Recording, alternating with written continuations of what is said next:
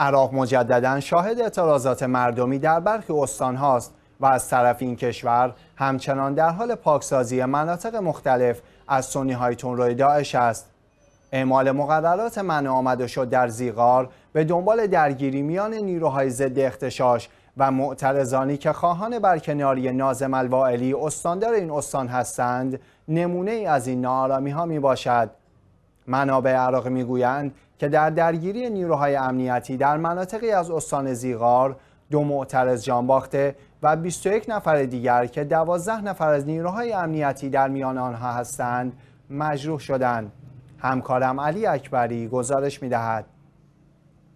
بودن 17 نفر از شرکت کنندگان در تظاهرات و نیروهای امنیتی به دنبال درگیری ها در ناصریه خبر دادند. در همین حال نیروهای پلیس فدرال عراق با صدور بیانیه‌ای اعلام کردند در عملیاتی اطلاعاتی و دقیق موفق به شناسایی و بازداشت دو تن از خطرناکترین عناصر تروریستی داعش در بخش العباسی در استان کرکوک شدند. در این بیانیه آمده که این دو تروریست برای انجام اقدامات لازم و بازجویی به مراکز زیرب تحویل داده شدند. وزارت کشور عراق همچنین در بیانیه دیگری از بازداشت یک داعشی دیگر در استان نینوا خبر داد. عراق خصوصا در مناطق شمالی همچنان در حال پاکسازی مناطق مختلف از های خاموش حامی سنی های تندرو داعش دفع حملات گاه و بیگاه این های تروریستی و یا بازداشت عناصر شناخته شده این گروه تروریستی است. به گفته کارشناسان همزمانی برخی اعتراضاتی که به خشونت کشیده می شود با شیوع ویروس کرونا